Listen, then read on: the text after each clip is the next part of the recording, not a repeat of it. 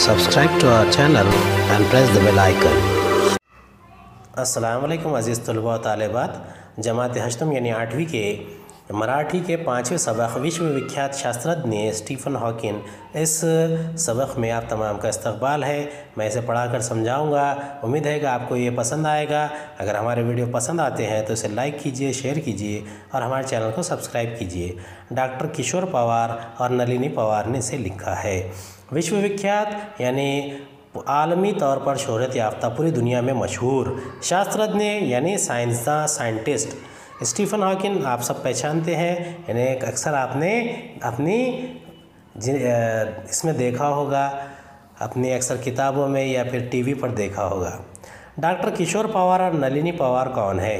प्रसिद्ध लेखक, लेखिका। ये बहुत ही मशहूर मुसनफ़ और मुसनफ़ा है, यानी राइटर और राइटर लिखने वाले हैं। डॉक्टर किशोर पवार यानी Bill Gates, Walt Disney, doctor Homi Bhabha, C V Raman, doctor Abdul Kalam, Wright बंधु, लुई पास्चर अशा अनेक शास्त्रज्ञाविषयी पुस्तकें प्रसिद्ध आहे। डॉक्टर किशोर पवार किशोर पवार ने Bill Gates, Walt Disney, doctor Homi Bhabha, C V Raman, Abul Kalam, Wright बंधु के ऊपर, लुई पास्चर के ऊपर, ये जितने साइंसदान इनके ऊपर बहुत मशहूर किताबें लिखी है। नलिनी पवार प्रस्तुत पाठाच्या सहलेखिका। नलिनी पवार जो है, ये इस सबक की सहलेखिका है, यानी उन्होंने साथ दिया है लिखने में। त्यांनी डॉक्टर किशोर पवार यांच्या सह अनेक पुस्तकाचे लेखन केले आहे। उन्होंने डॉक्टर किशोर पवार के साथ बहुत सारी किताबों के लेखन किया है। तसेच त्यांचे स्वतंत्र लेखन ही प्रसिद्ध। और इसी तरह उनके जो आज़ाद कहानियाँ लिखते हैं, वो भी बहुत मशहूर है। परिस्थितीचा गुलाम ना बनता, यानी हालात की ग़ुलामी ना करते हुए यहाँ पर किस तरीके से आपने अपने आप को बेहतर करना है, ये बता, बयान किया जा रहा है। परिस्थितीला आपला गुलाम बनवण्याची विलक्षण जिद्द हा स्टीफन हॉकिंग यांच्या व्यक्तिमत्वाचा विशेष पैलू सर्वांना प्रेरणा देणार आहे देणारा आहे. हालात से का ग़ुलाम न बनते हुए उसका मुकाबला करने की जो ज़िद्द है, वो स्टीफ़न हॉकिंग की जो शख्सियत है, व्यक्तिमत्व है, व्यक्तित्व है, उसको प्रेरणा देनारी, प्रेरणा देने वाली बनाती है। प्रतिकूल परिस्थिति ही आत्मविश्वास न गमवता परिस्थितीवर मात करण्याचे जीवन कौशल्य या पाठातून आपणास शिकायचे, शिकायला मिळते। नामुसाद हालात यानी गैर यकीनी मुश्किल हालात में भी अपना आत्मविश्वास यानी ख़ुद अतमादी ना छोड़ते हुए अपने ज़िंदगी में जीवन कौशल्य यानी लाइफ स्किल्स में कैसे आप बेहतरी ला सकते हैं इस सबक में हमें सीखने के लिए मिलेगा प्रस्तुत पाठ हा विश्वनिर्मितीचा शोध घेणारा मृत्युंजय शास्त्रज्ञ श्रा शास्त्रज्ञ स्टीफन हॉकिंग या घेतला आहे.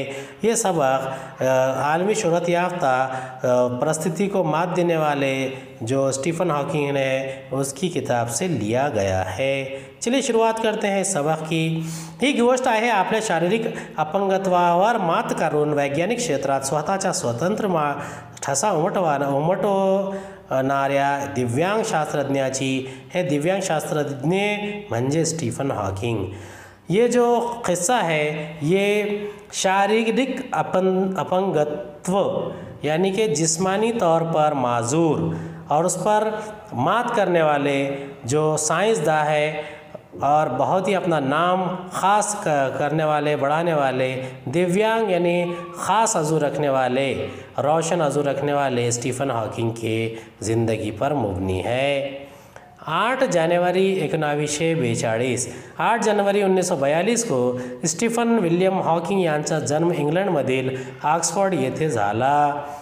स्टीफन विलियम हॉकिंग का की पैदाइश इंग्लैंड के ऑक्सफोर्ड में हुई। लहानपणापासून त्यांना विज्ञान विषयाची विलक्षण आवड। बचपन से ही उनको साइंस की बहुत ही ज़्यादा दिलचस्पी थी। रेडिओतून आवाज़ कसा येतो? घड्याळ टिक आवाज़ का करते? त्याबद्दल कुतूहल वाटत असे.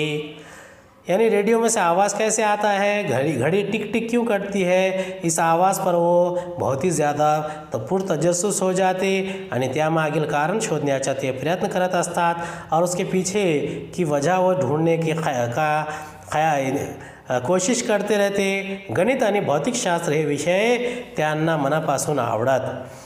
रियाजी, यानी गणित, यानी मैथ्स, यानी भौतिक शास्त्र, यानी फिज़िक्स, तबियात, ये दोनों भी जो मजामी हैं, उन्हें दिल से पसंद थे।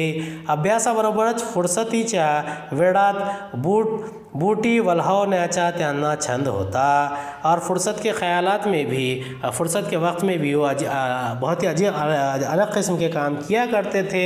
शास्त्रज्ञ होने होण्याचे स्वप्न स्वप्न उराशी बाळगून त्यांनी ऑक्सफोर्ड विद्यापीठातील युनिव्हर्सिटी कॉलेजमध्ये प्रवेश घेतला.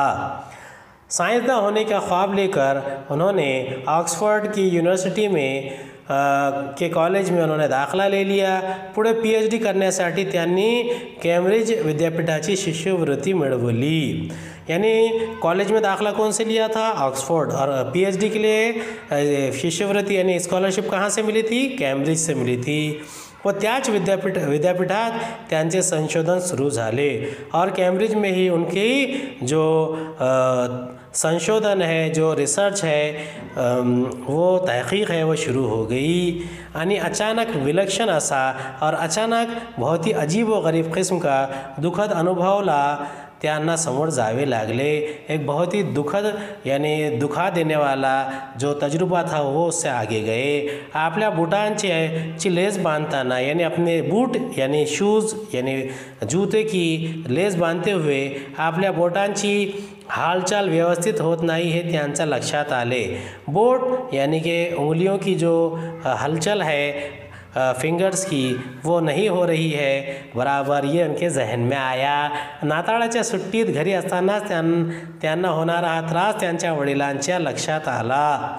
नाताड़ यानी क्रिसमस क्रिसमस की छुट्टियों में उनको होने वाली ये तकलीफ़ उनके फादर, उनके पिता उनके वालिद के दिमाग में आई। अनेक अनेक शारीरिक तपासण्यांनंतर त्यांना मोटार न्यूरॉन या रोगाचे निदान झाले। और बहुत सारे जिस्मानी तपासनी यानी चेकअप करने के बाद उन्हें मोटार न्यूरॉन नाम का एक बीमारी हुई इसका पता चला।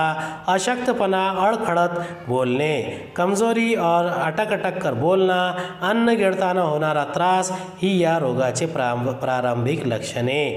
और ग़िज़ा निगलते हुए खाना निगलते वक्त भी होने वाली तकलीफ़ ये भी इस, इस बीमारी की लक्षण थे। हळूहळू स्नायूवरील नियंत्रण कमी होऊन या रोगात चालने बोलने बंद होते. आहिस्ता आहिस्ता अपने आप पर जो कंट्रोल है वो ख़त्म होता है और चलना बोलना बंद हो जाता है इस बीमारी में. आणि सर्वात वेदनादायक म्हणजे आपल्या श्वासोच्छवासाठी उपयुक्त असलेली स्नायू दुर्बल होतात. आखिरकार उनके जो अ, श्वास लेने वाली, यानी सांस लेने की जो नालियाँ हैं, वो भी कमज़ोर हो जाती है, फेफड़े भी कमज़ोर हो जाते हैं। आपुले मरण पाहिले या डो, म्या ढोड़ा अशा स्थितीत प्रारंभीच्या काळात विलक्षण निराशा, बेचैनी अस्वस्थता हॉकिंग यांनी अनुभवली। अपनी ज़िंदगी से अपनी ज़िंदगी में ही अपनी आँखों से मौत देखना, ऐसी शुरुआती हालात देखकर बहुत ही ज़्यादा स्टीफन हॉकिंग निराश हो जाते, परेशान हो जाते, इसका तजुर्बा आया। आपल्या लाच वाटायला हे दुखने का, अपने को ही ऐसी तकलीफ़ क्यों हुई ये सोचने लगे। हा विचार अस्वस्थ करून गेला। और इस ख्याल से वो बहुत ही ज़्यादा परेशान हो गए। पर मूड स्वभाव, स्वभावात, असलेला स समजपणा सामंजस्यपना, विचार, विचारीपना यामुळे या निराशजनक मनस्थितीतून ते हळूहळू बाहेर आले। आहिस्ता आहिस्ता अपनी समझदारी से और अपने ख्याल से निराशा से वो आहिस्ता आहिस्ता इस तमाम चीज़ों से बाहर आ गए। जन्मानंतर आलेल्या या गंभीर, अपंगत्वावर मात करण्याची जिद्द निर्माण झाली। अपंगत्व, यानी कि माजूरी पर जो मात करने की ज़िद थी, वो बचपन से ही उनके अंदर निर्माण हो गई। या गंभीर परिस्थितीतून बाहेर पडण्याचे अनेक मार्ग त्यांना अवलंबिले और इस बहुत ही मुश्किल हालत से बाहर निकलने के बहुत सारे रास्ते उन्होंने ढूंढे। मार्ग यानी रास्ता। असाध्य रोगामुळे चकाची खुर, चाकाची खुर्ची त्यांची साथीदार साथीदार बनली और इस बीमारी से एक चाकाची खुर्ची, यानी चाक वाली कुर्सी जो थी, उनकी साथ ही बन गई। विद्यापीठा ने त्यांना विविध सुविधा पुरविल्या और उनकी यूनिवर्सिटी ने उनको बहुत सारी सुविधा दिए। डॉक्टरेट पूर्ण झाल्यावर एकोणावीसशे सस साली त्यांच्या शोध निबंधाला एडम्स प्राइज़ मिडाले और डॉक्टरेट पूरा होने के बाद 1966 साल में उनका जो तहकीकी मुखाला था शोध निबंध था, उसको एडम प्राइज़ मिला। केम्ब्रिजमधील इन्स्टिट्यूट ऑफ़ ॲस्ट्रॉनॉमी या संस्थेत काम करण्यासाठी त्यांना निमंत्रित केले गेले. कैम्ब्रिज के इंस्टीट्यूट ऑफ़ एस्ट्रोनॉमी इस संस्था में उनको काम करने के लिए निमंत्रण दिया गया। A brief history of time हे त्यांनी लिहिलेला त्या प्रचंड लोकप्रिय पुस्तक. A brief history of time उन्होंने लिखा हुआ एक बहुत ही मशहूर किताब है, तैंतीस आवृत्त्या प्रसिद्ध आहेत। उसकी कुल तैंतीस जिल्दे उसके ऑडिशन निकले हैं एडिशन निकले हैं। गिनीज बुक ऑफ़ वर्ल्ड रेकॉर्डमध्ये या विक्रमाची नोंद केली गेली। Guinness book of world record में इसकी नोंद हो गई है।